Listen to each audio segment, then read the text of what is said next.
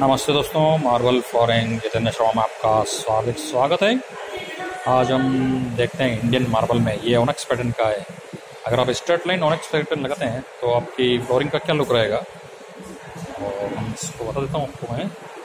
अगर आप Indian marble में भी ओनक्स पैटर्न लेंगे तो देखिएगा कैसे।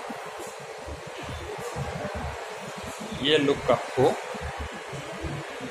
देखने को मिलेगा। ये ग्रेनेड की रेड कलर की जो पट्टी दिख रही है बॉर्डर पट्टी है। चलिए हम इसको थोड़ा तिरछा करके भी देख लेते हैं।